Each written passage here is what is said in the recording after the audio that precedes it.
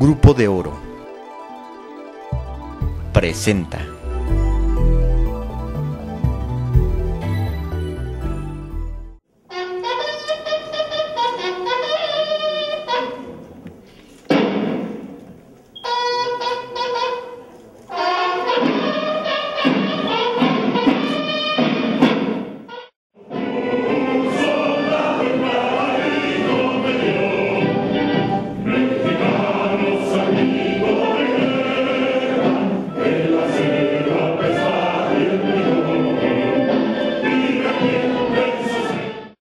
A las 11 con 12 minutos arrancó la sesión solemne de apertura del primer año legislativo de la 72 legislatura del Congreso del Estado, a la que acudieron como representantes de los otros poderes del Estado el gobernador Leonel Godoy Rangel y el presidente del Supremo Tribunal de Justicia del Estado, Alejandro González Gómez.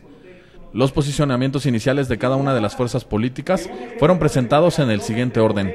Reginaldo Sandoval Flores por el Partido del Trabajo, César Morales por el Partido Verde Ecologista y Sarbelio Molina por Nueva Alianza.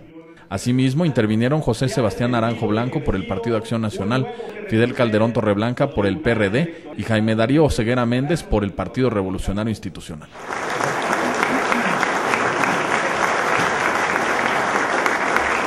Con imágenes de Leopoldo Hernández e información de Nicolás Casimiro, Agencia Cuadratín.